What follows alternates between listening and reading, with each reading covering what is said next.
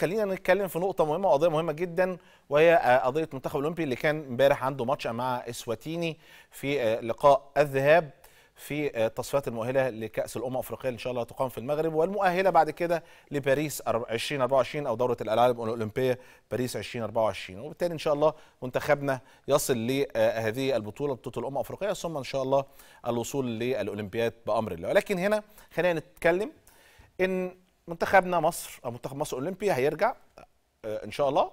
وبعد كده في بعض اللاعبين منهم لعيبة الأهلي والزمالك هينتقلوا إلى ناديهم عشان أو هيروحوا ناديهم عشان مباراة آه، السوبر. حسام عبد المجيد لاعب نادي الزمالك وهو لاعب منتخب مصر الاولمبي هيروح لمعسكر فريقه وهيبقى موجود في ماتش السوبر. ده بالنسبة لحسام لنادي الزمالك. على الجانب الآخر النادي الأهلي رأفت خليل وكوكا. الاثنين دول برضو هيسيبوا المنتخب الأولمبي ويروحوا للنادي الأهلي. كل احترام طبعا إن بطولة السوبر هي يعني بطولة مهمة للفرقتين وأمور ممكن تكون مهمة للأجهزة الفنية في اختيارات اللاعبين.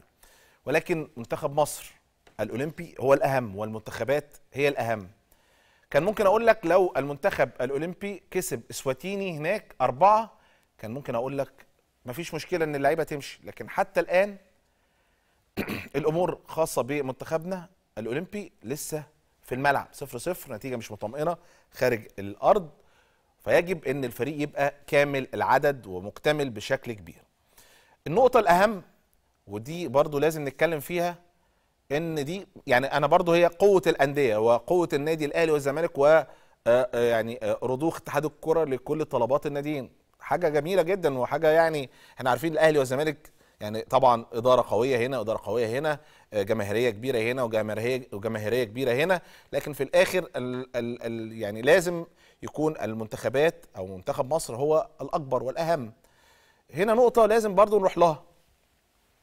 هو يعني أحمد آه، أو حسام عبد المجيد لاعب داخل في النادي داخل نادي الزمالك لكن عنده البدائل. أنت جبت بدائل كتير جدا في نادي الزمالك موجودة في المكان ده.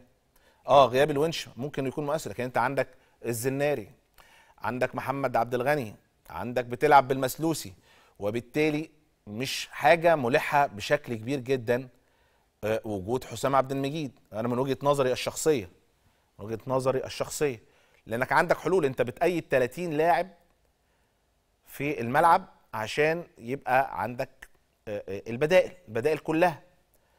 فأنت عشان تطلع لاعب من المنتخب الأولمبي للنادي وهو والمنتخب الأولمبي لسه ما حسمش موقفه للوصول لبطولة الامم الافريقيه ده شيء آه، يعني أنا بشوفه يعني ضعف من اتحاد الكورة اولا وعدم تنسيق موجود آه، لأن اللي أنا شفته في الفترة اللي فاتت مكالي المدير الفني لفريق منتخبنا أو منتخبنا الأولمبي كان بيلف على الأندية ولفة الأندية دي لازم يبقى فيها تنسيق.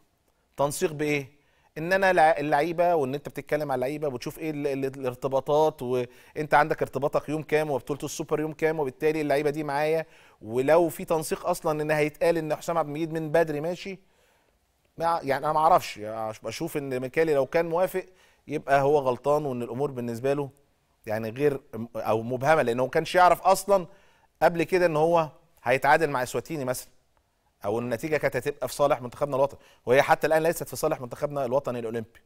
على الجانب الآخر نادي الأهلي أحمد حسن آه، أو أحمد نبيل كوكا وأيضا رأفت خليل. الاثنين لو راحوا هل هيلعبوا؟ وهيلعبوا أساسي؟ وهل فكرة إنك بتجيب اللعيبة وفقط يبقوا موجودين جنبك ومنتخبهم ما يستفادش بيهم دي برضو في منطق كرة القدم ومنطق منطق إن منتخب مصر هو الأهم؟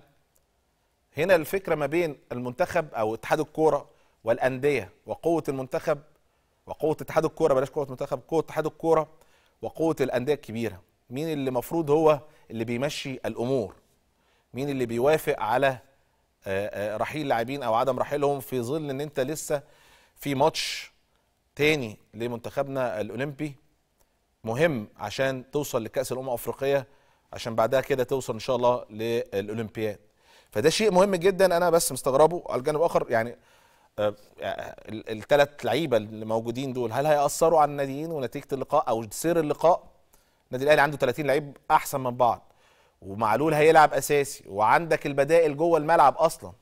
يعني لما نيجي نبص إن الراجل كولر ده ذكي لدرجة وعنده شغل فني رائع لدرجة إن هو بيشتغل إن اختياراته للقايمة يبقى فيها لعيبة يقدر يستخدمها كبدائل داخل الملعب مش بس إن هو بينزل لعيبة مكان لعيب أو لعيب مكان لعيب بيطلع ولا لعيب بينزل لأ ده من جوه الملعب. وبالتالي الحاجة الاثنين لعيبة ممكن يكون منتخبنا الأولمبي محتاجهم أعتقد إنها مش صحيح إن هم يخرجوا بره المعسكر سواء بقى في الأهلي أو في الزمالك لأن منتخبنا الأولمبي لم يحسم موقفه في التصفيات والوصول لكأس الأمم الأفريقية إن شاء الله تقام بالمغرب. ده بس كنت حابب أتكلم عليه وأتمنى يعني أتمنى دائما إن اتحاد الكره هو اللي يكون الأقوى وهو اللي بيحط النظام وبيحط الرولز وبيهمه مصلحة المنتخب لأن ثلاث لعيبة يعني الأهلي والزمالك عنده ثلاث لعيبة بالشكل ده بالتالي دول أقوى لعيبة موجودين في المنتخب الاولمبي ده ده الوضع الطبيعي. فكون إن هم يمشوا وأنت لسه ما حسمتش موقفك والناس تقول لك أصل ده ماتش سهل لا أنت ما دام ما حسمتش موقفك من الوصول يبقى ماتش مش سهل. لكن نتمنى طبعا التوفيق للعيبة ولمنتخبنا الأولمبي إن شاء الله والأمور تمشي بسلام.